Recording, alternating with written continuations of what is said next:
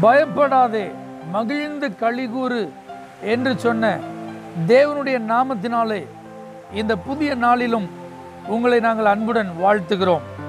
மத்திய எழுதின சுவிசேஷம் மூன்றாம் அதிகாரம் அவருடைய பதினாறாம் பதினேழாம் வசனத்தை நாம் வாசித்து பார்ப்போமானால் இயேசு ஞான ஸ்நானம் பெற்று ஜலத்திலிருந்து கரையேறின உடனே இதோ வானம் அவருக்கு திறக்கப்பட்டது.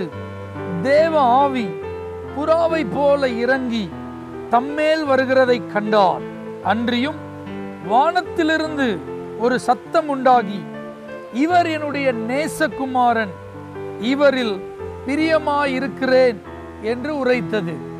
இந்த வார்த்தையை கேட்கிற தேவ பிள்ளைகளே ஆண்டவராகிய இயேசு கிறிஸ்து தேவனாய் இருந்தாலும் மனிதனை மீட்கும்படியாக அவர் ஒரு மனிதனைப் போல இந்த பூமியில் பிறந்து ஆண்டவருடைய சித்தத்தை நிறைவேற்றுகிற அந்த ஊழிய வாழ்க்கையில் தன்னுடைய ஆரம்பத்தை ஞான ஸ்நானம் எடுப்பதின் மூலமாக தேவனுடைய நீதியை நிறைவேற்றி அவருடைய கட்டளைக்கு கீழ்ப்படிதலின் மூலமாக துவங்கினார்.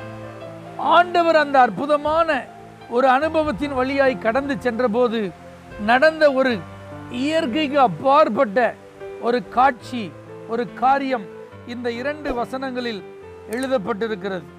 வானம் திறக்கப்பட்டது. தேவ ஆவியானவர் அவர் மீது புறாவை போல இறங்கினார். அது மாத்திரமல்லாமல் ஒரு சத்தம் இவர் என்னுடைய நேசகுமாரன். இவரில் நான் பிரியமாயிருக்கிறேன்.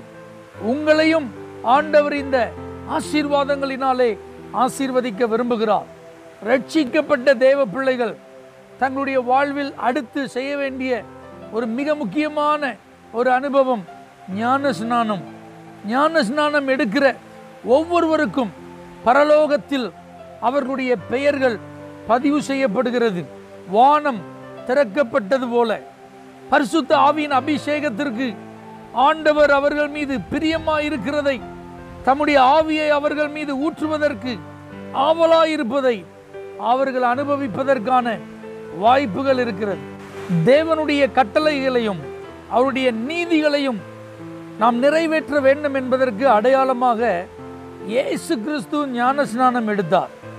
அப்படி அவர் இந்த ஆசீர்வாதமான அனுபவத்திற்கு தன்னை ஒப்பு கொடுத்த போது வானம் திறந்து பரிசுத்த ஆவியின் வல்லமை அவர் மீது இறங்கி வருகிறதையும் தேவனுக்கு அவர் பிரியமா இருக்கிறார் என்பதை அனைவரும் அறிந்து கொள்ளவும் ஒரு ஆசீர்வாதமான வாய்ப்பு இயேசுவுக்கு கிடைத்தது போல.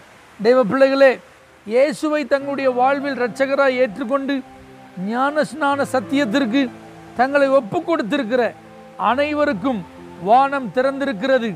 பரிசுத்த ஆவியின் வல்லமை அவர்களுக்கு நிச்சயம் உண்டு.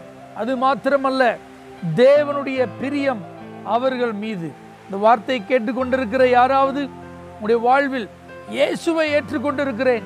ஆனால் இன்னும் ஞான ஸ்நானம் எடுக்கவில்லை என்கிற நிலையில் இருப்பீர்களானால் தேவனே மனிதனாக இந்த பூமியில் வந்தபோது ஞான ஸ்நானம் எடுத்து அவருடைய கட்டளையையும் நீதியையும் நிறைவேற்ற வேண்டியது அவசியமாயிருக்கிறது என்கிற ஒரு வார்த்தை அவர் கூறியிருப்பாரானால் நீங்களும் இந்த ஞான ஸ்நானத்திற்கு உங்களை ஒப்பு கொடுக்க வேண்டியது அவசியமாயிருக்கிறது.